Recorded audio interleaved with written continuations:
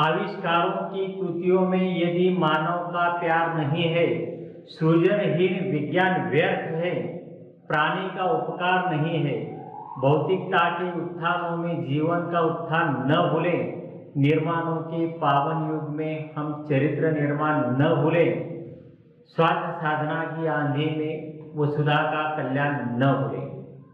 कवि कहते हैं कि आज का मनुष्य विज्ञान में प्रगति करता हुआ दिखाई देता है।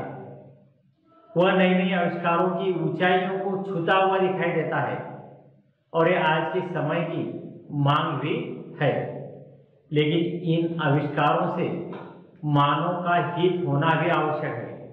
यदि इन आविष्कारों से मनुष्य और प्राणियों का कोई हित नहीं है तो मनुष्य की ऐसी कृतियों से, ऐसी खोज से मनुष्य, प्राणी धरती की हानि ही होती है।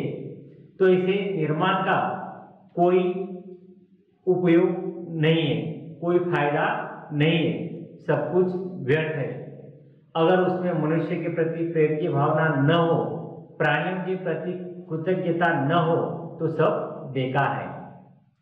विज्ञान द्वारा निर्मित आविष्कार तो मनुष्य जाति के भौतिक विकास की नींव होती है। हमारे मानवीय मूल्य, हमारे संस्कार, इन सारी बातों को याद रखकर ही हम विज्ञान के नए नए प्रयोग करना चाहिए। साथ में चारित्रिक गुणों का संरक्षण, संवर्धन करना भी अति आवश्यक है। स्वार्थ में अंधे होकर, भौतिक तड़क भड़क के बढ़ते प्रभाव में आकर हमें अपने जीवन का उत्थान करना नहीं भूलना चाहिए।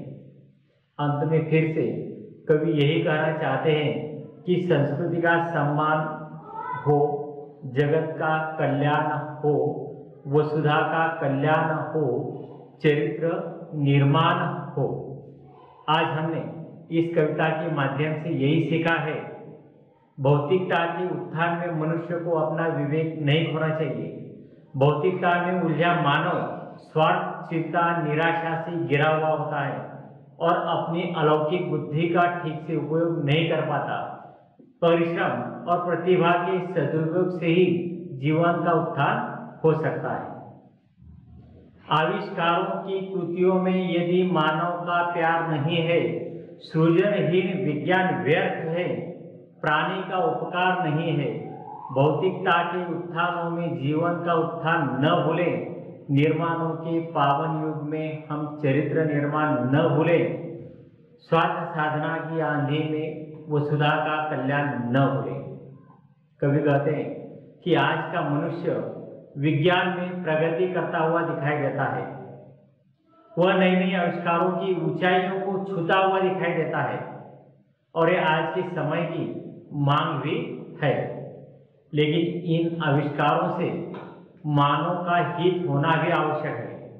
यदि इन आविष्कारों से मनुष्य और प्राणियों का कोई हित नहीं है। तो मनुष्य की ऐसी कृतियों से, ऐसी खोज से मनुष्य प्राणी धरती की हानि होती है।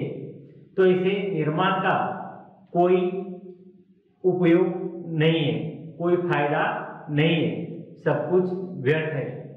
अगर उसमें मनुष्य के प्रति प्रेम की भावना न हो, प्राणियों के प्रति कृतज्ञता न हो तो सब बेकार है। विज्ञान द्वारा निर्मित आविष्कार तो मनुष्य जाति के भौतिक विकास की नींव होती है। हमारे मानवीय मूल्य, हमारे संस्कार, इन सारी बातों को याद रखकर ही हम विज्ञान के नए नए प्रयोग करना चाहिए।